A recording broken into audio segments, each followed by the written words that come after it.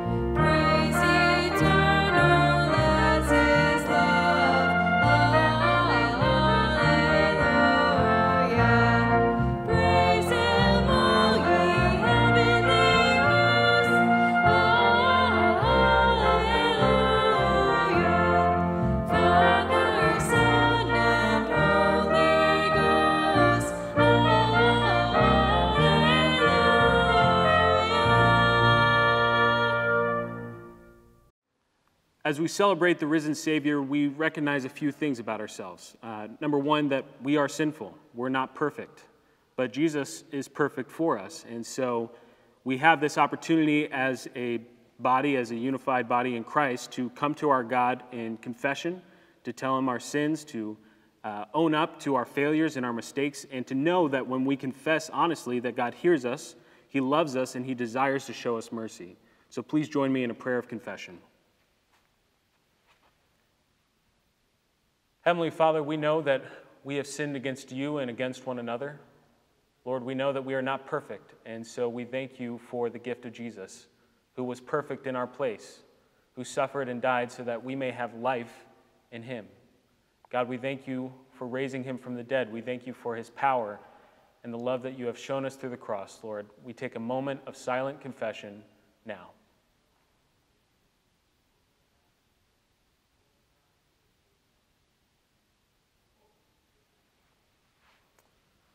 Almighty God, who is rich in mercy and loves to show us mercy, has given his Son to die for you. And it is in the name and in the power of the risen Savior, Jesus Christ, that I declare the forgiveness of all of your sins in the name of the Father, and of the Son, and of the Holy Spirit. Amen.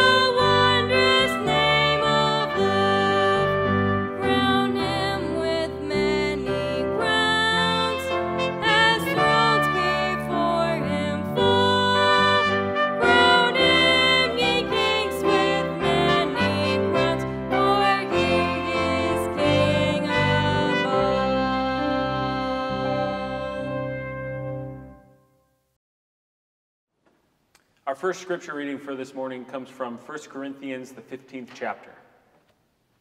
Now I would remind you, brothers, of the gospel I preached to you, which you received, in which you stand, and by which you are being saved, if you hold fast to the word I preached to you, unless you believed in vain.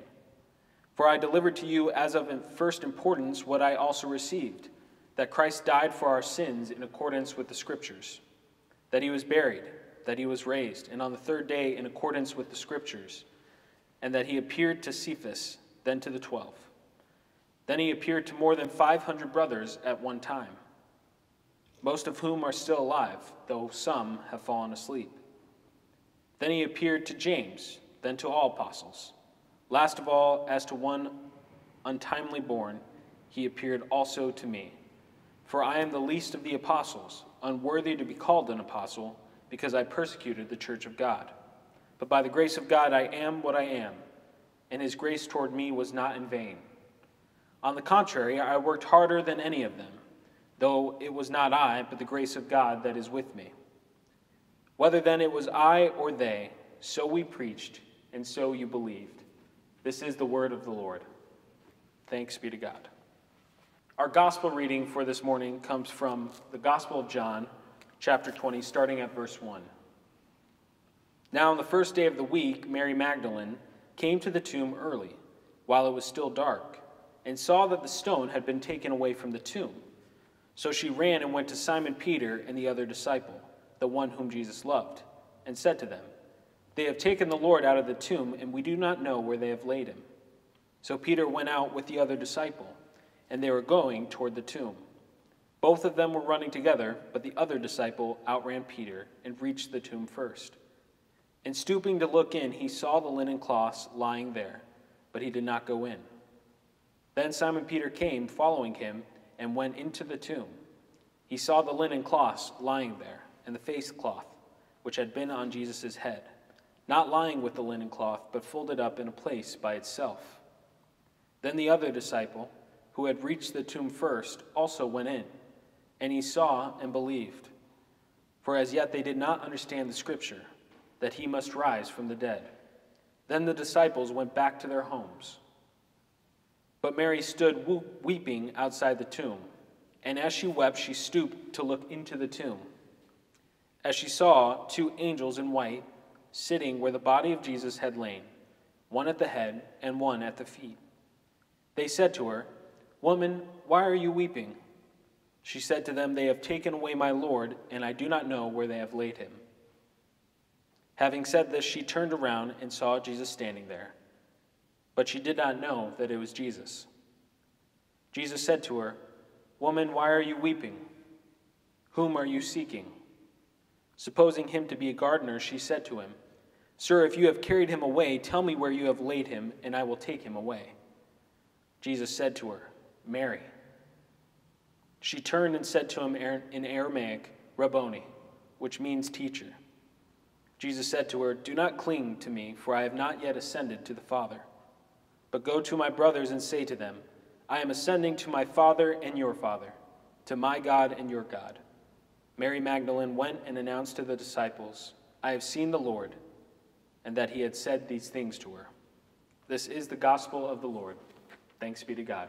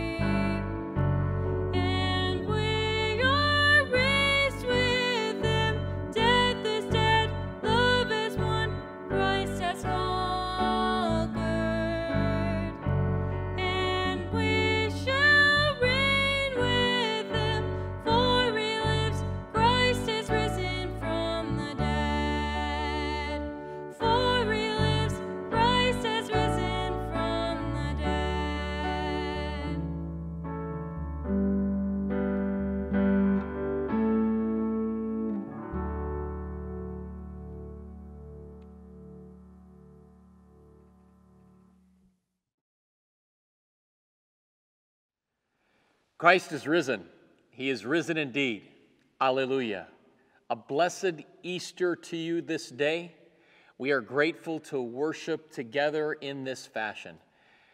This is clearly one of the most unusual Easters that we have ever experienced in our lives, but the truth is still foundational.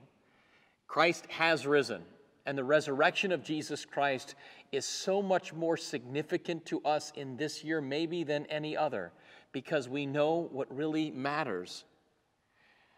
I chose to look at John chapter 20 and verse 19, where it says, On the same day of the evening, being in the first day of the week when the doors were shut, the disciples were assembled for fear of the Jews. Came Jesus and stood in the midst and said to them, Peace be unto you. That scripture is actually from a week after the resurrection of Jesus Christ, but they are stuck behind closed doors for fear. And Jesus comes and says, Peace be to you. I pray on this Easter Sunday you would have peace, even in the midst of times that clearly challenge our peace. Jesus said, Peace I leave with you, my peace I give to you. I do not give as the world gives. Do not let your heart be troubled, and do not be afraid. We listen to the news and we think, well, is that a piece of good news? Or we listen to another thing, is that a piece of good news? I have good news for you. God knows. And in this day, you can have peace because God is the author of all peace.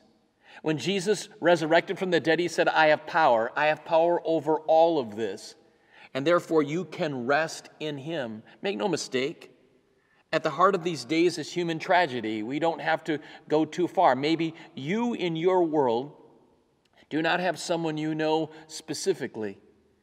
But as time goes on, we all do, and we all will, where people have had such tragedy of losing loved ones and they can't grieve with them, the tragedy of the unexpected but at the heart of these days as well, I would tell you, are the heroes. And there are no greater heroes in our time on this Easter Sunday than the healthcare workers who place themselves again and again in harm's way for the rest of us. I was sent a, a prayer by one of the members of the church here. I want to read it for you because it's being used right now in a hospital in our community as a positive encouragement. Here are the words When we struggle to repair and heal this world, when we rise above our fear and offer compassion and love, we're a blessing. When we gather the strength to give of ourselves to those who so desperately need our assistance, instead of averting our gaze, we are a blessing. The sages say, whenever we reach out to someone who is suffering, we make ourselves a blessing. Sacred voices echo across the hospital floors and across our world, speaking softly. Bless you. Thank you. You are a blessing. For those of you that are medical professionals hearing my voice, you are a blessing. We are grateful for you, placing yourself in regards to who else needs you in a very specific way. Saw a text this last week. Person asked, Please keep myself and my coworkers in the hospital in your prayers. I cannot put into words how truly awful it is. We're all stressed and worried and fearful of wanting to take the best care of our patients, but concerned about getting sick and maybe bringing that sickness home to our families. I've never been more fearful to go into work before. My coworkers and myself, I've just cried in our cars before we go to work. It's very hard. Today, what gave me comfort was the 23rd Psalm to remember no matter what's going on, God is by my side and will never leave me. Make no mistake, these are heroes during this tragedy. We pray for them. We pray for you. If you are that person, we pray for grace. At the heart of these days are heroes. In particular, I ask you today on this Easter Sunday that you would pray for New York. We got the news that clearly there's no other place in the world that has more cases of this terrible virus than New York, more than any country. I was in communication with the, the spiritual leader of our denomination in New York, and he shared this with me. I asked him, How can I pray? And he says, Yes, thank you. This is not an easy time. About 25 churches are directly affected with deaths of members. Roughly 45 members have already died, averaging seven a day. I have a young pastor who already has 12 deaths from COVID 19 in his church. These are members that have died alone, members who are buried with no one at the graveside except a prod and a camera. These are unprecedented times, but Jesus is still Lord of all. The church has a role to play to speak into this grief and anxiety. Thank you for your prayers. Can I ask you today on Easter to pray for New York?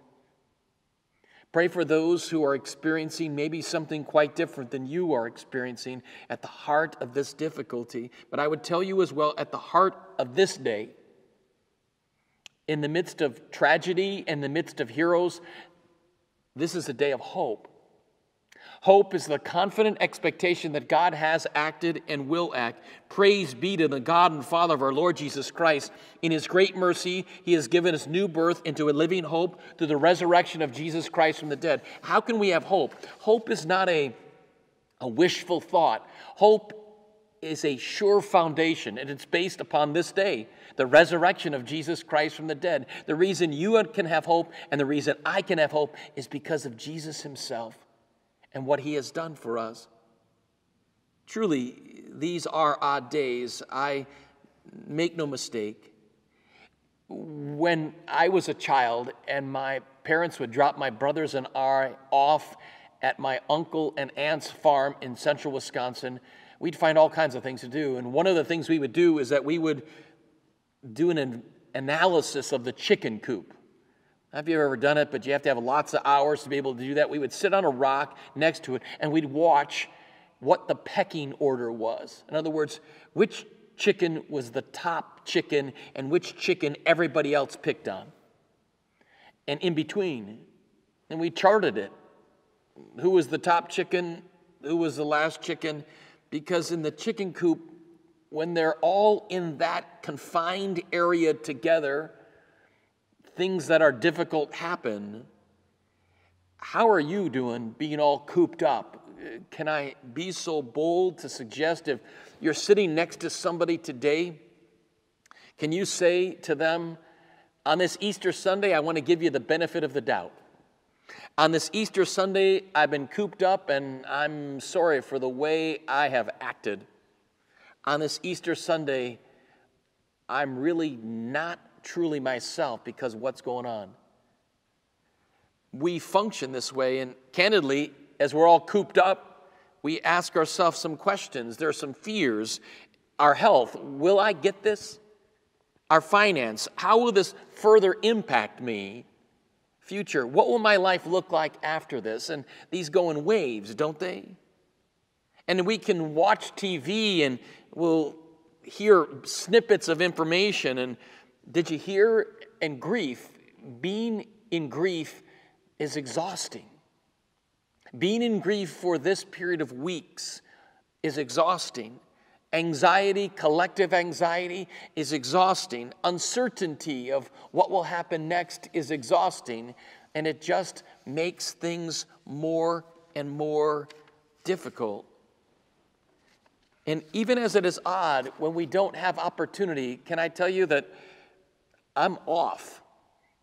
I'm a little off because I look to people's faces to interact and I have some level of measure from the ping pong that happens interpersonally. And I want to confess before you, there are times in my life I've said this, you've heard me say it. I really just want everybody in the world to stop so that I can get caught up. I didn't really mean it, I don't really want it because this is very disconcerting. And in, essence, there's an element of loneliness in the midst of it because we don't have normal human interactions. There was an article some years ago where researchers claimed that loneliness would be classified as an epidemic by 2030. The former U.S. Surgeon General described loneliness as one of the country's most pressing health risks. The effects of social isolation are so severe that studies have shown that It actually has the power to remap the makeup of human cells. I wonder about that. I wonder about loneliness in this time. I wonder what the uh, impact is and the lasting impact is. So, as we're cooped up, as we need to ask forgiveness from each other, recognize the truth of the gospel is that which does not change. For God so loved the world that he gave his only begotten Son, that whoever believes in him will not perish but have everlasting life. Whatever else is true, that's true. And when Jesus rose from the dead, he showed that his sacrifice was full and complete. He showed the truth of what God gave to us in Christ. I pray you believe. I pray that's your confidence, regardless of anything else that's uncertain in these times. Your confidence is that God loves you. Your confidence is that Christ came for you. Your confidence that your faith is secure. In these times, control, who, who really has it?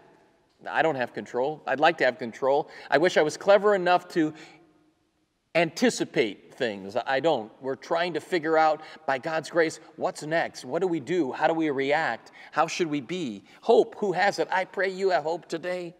Certainty, who has it? The only thing that seems certain is there's a level of uncertainty about what's going to occur, because in fact, we are fundamentally off the map. There's a book called Off the Map places that are unknown. And, and what does it tell us about the world? We're now in uncharted territory. We are off the map. We are pioneers in this new time. Who would have thought? And I'm not sure how this all fits in, but I'd say on a personal note, for the last 15 months of my wife and I's life, we've had another person living in our home, a young man named Jihao Li. He went by Matthew in this country. And do you know where he's from? Wuhan, China. And so, the past 15 months, this young man who was born and raised in Wuhan, China, was living with us and just went back home two weeks ago, three weeks ago. Now, and the other day, coming in to our home, at our front door was a box. And in that box is this package. Do you know what it is? It's masks.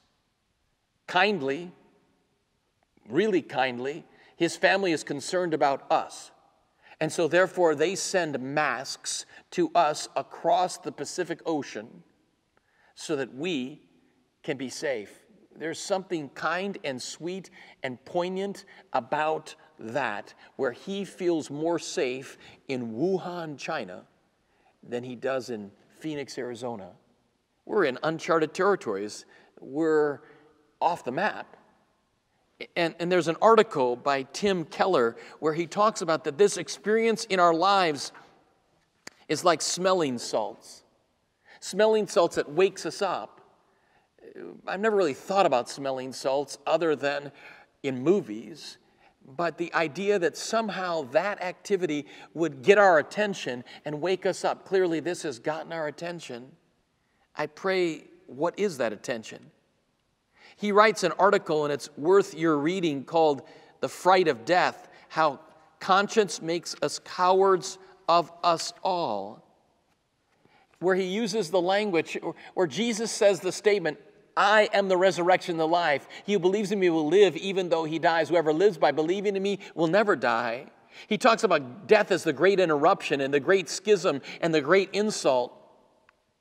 And, and the, this circumstance in our lives, here's a great quote All the wars and plagues have never raised the death toll. In other words, we all will face at some point our eternity.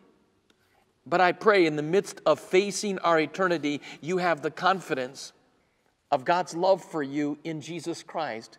We don't have to fear death. We don't have to fear because of the resurrection of Jesus Christ. And the greatest quote he has is everything in this life is temporary except for God's love. May we be woken up to that truth. Everything is temporary. So many things have been taken away from us, so many things have been changed, so much has been altered. But everything in this life is temporary except for God's love. And this confidence on this Easter Sunday, you know my prayer?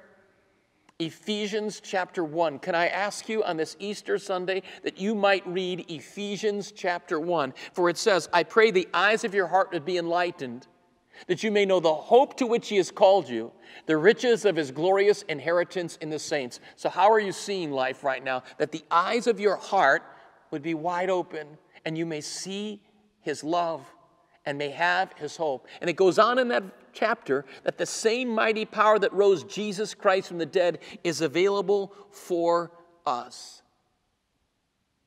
In recent days, I have heard an incredible experience.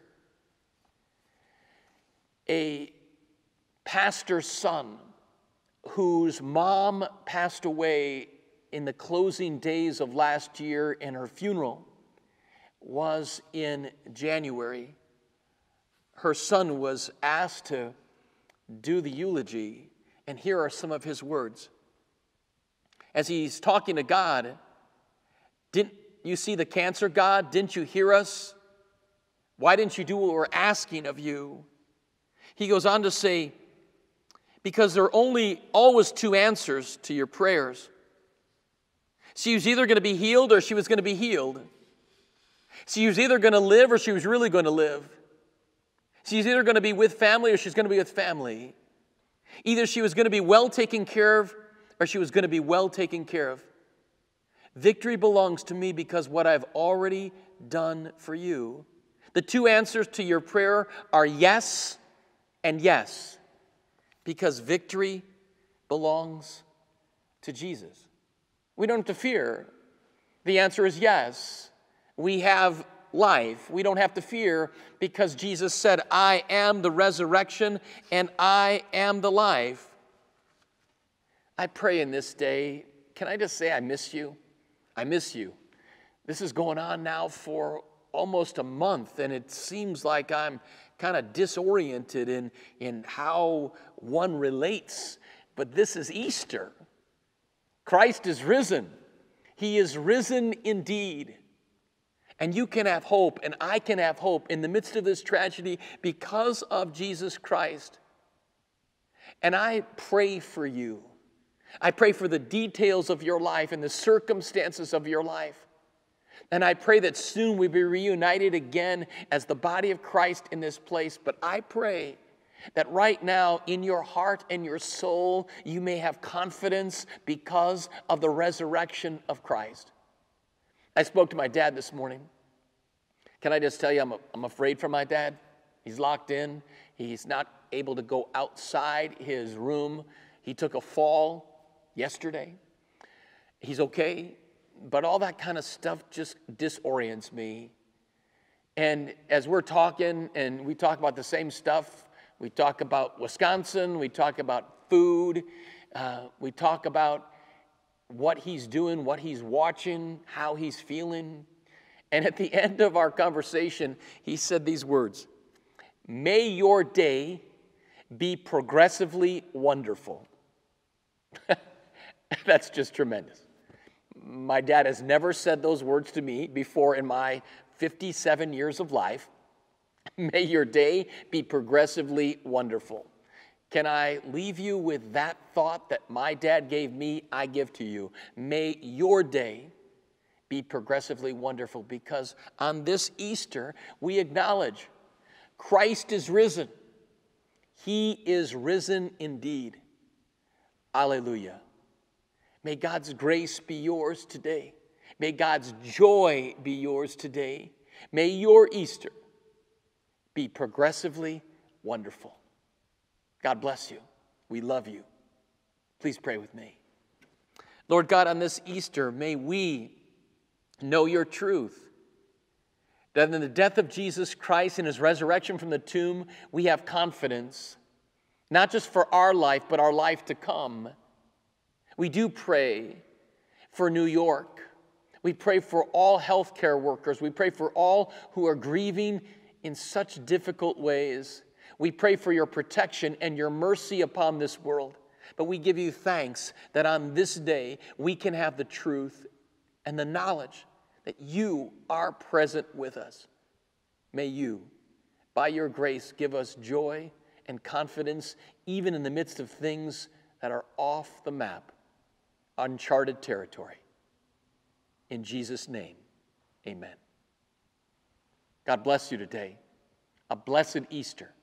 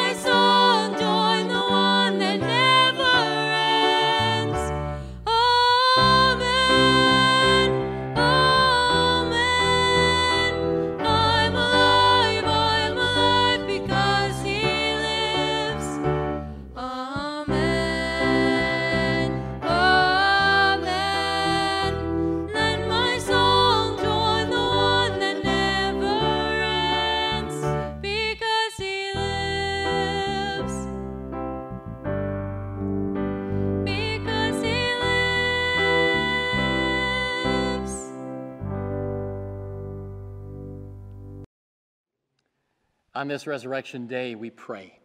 Lord God, we pray for mercy for our world, especially for New York.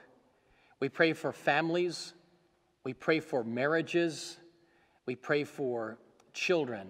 We pray for those who are overtaken in fear. May you give us peace. We pray for doctors and nurses, wisdom and skill for protection, for all those who place their lives in for our protection. We ask you, Lord God, for mercy for this world, mercy for our lives, and we thank you for the gift of Jesus Christ and his resurrection on this day. We pray that you would bless our families, that we would be safe and brave, and that we would walk in faith during these unbelievable times. But we ask that you would ground us, ground us in the truths that we know are true when it seems like everything has changed, we know nothing has fundamentally changed that ultimately matters, and that is your love for us. We gather all of our prayers before you in the prayer that you've taught us to pray. Our Father, who art in heaven, hallowed be thy name. Thy kingdom come. Thy will be done on earth as it is in heaven. Give us this day our daily bread, and forgive us our trespasses, as we forgive those who trespass against us. And lead us not into temptation, but deliver us from evil. For thine is the kingdom, and the power, and the glory, forever and ever. Amen. Receive the blessing of God. The Lord bless you and keep you. The Lord make his face to shine upon you and be gracious unto you. The Lord lift his countenance upon you and give you his peace. On this Easter Sunday, let me just say three things. One is we pray you are safe and are encouraged today. As well, we want to tell you there are ways to serve if you are so inclined. I encourage you to pray, in particular for New York. And three, if there's a way that you want to help, we continue to have Wednesday food distribution from St. Mary's, but they'll accept all kinds of things that other families desperately need. This past week, I received a phone call from an individual at one of the nursing homes down the street, and they say there are so many people who are shut up in their particular little room with nothing to be able to do, and they asked for us to reach out. And so we are starting a process called Bags of Hope. Bags of Hope is nothing more than a lunch bag from your house that has arts and crafts supplies or something that someone who doesn't have the ability to get out gives them some way to say, Your life matters to us. We love you. We know you're alone, and we don't want you to feel alone. So if you're able to help in any and all of those ways, we would welcome it. We pray that you are well. We pray that you are helping other people know that they are not alone until we can all meet together again prayerfully soon. God bless you. A blessed Easter to you. God's grace.